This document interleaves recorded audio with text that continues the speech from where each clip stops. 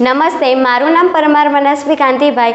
હું શ્રી જયમ ચૌધરી સાર્વજનિક વિદ્યાલય મહેસાણામાં અભ્યાસ કરું છું. આજનો મારો વિષય છે, સ્વતંત્રતા પછી ભારતે કરેલી મુખ્ય વૈજ્ઞાનિક ઉપલબ્ધિઓ. સન ઓગણીસો દસ પહેલાં આંતરરાષ્ટ્રીય ખ્યાતિ ધરાવતો કોઈ પણ વૈજ્ઞાનિક એ ભારતીય ન હતો. ઈસવીસન ઓગણીસો વીસથી ઓગણીસો પચીસના સમયગાળામાં અચાનક જ ભારતના પાંચ વૈજ્ઞાનિકોએ વિશ્વવિખ્યાત બન્યા હતા. તે હતા જગદીશચંદ્ર બોઝ, સીવી રામન, મેઘનાથ સાહા, શ્રીનિવાસ રામાનુજન અને પ્રાધ્યાપક ચંદ્રશેખર. તેની સાથે સાથે ભારતમાં વિજ્ઞાનના વિકાસનો પાયો પણ નખાયો હતો.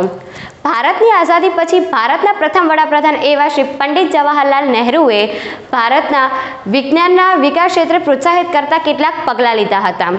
ઓગણીસો સાહીઠના દાયકાની શરૂઆતમાં સોવિયત સંઘે ઇન્ડિયન સ્પેસ રિસર્ચ ઓર્ગેનાઇઝેશન એટલે કે ઇસરોની સ્થાપનાને સમર્થન આપી અવકાશ ક્ષેત્રે પણ પોતાના કાર્યક્ષેત્રની દિશાઓ નક્કી કરી હતી.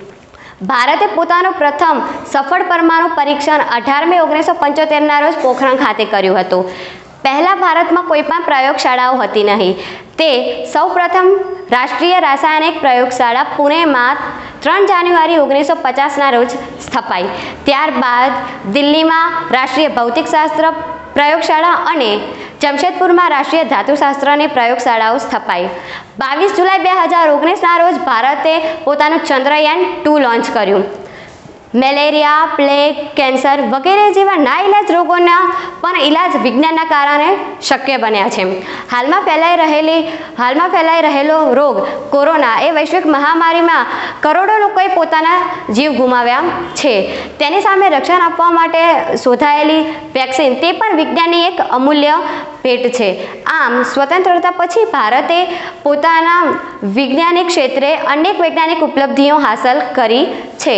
અંતમાં પ્રકૃતિ પ્રત્યે મનમાં સન્માન અને હૃદયમાં પ્રેમ છે. પ્રકૃતિ પ્રત્યે મનમાં સન્માન અને હૃદયમાં પ્રેમ છે. તો વિજ્ઞાન આખી માનવતા માટે એક સુંદર ભેટ છે. જય હિન્દ.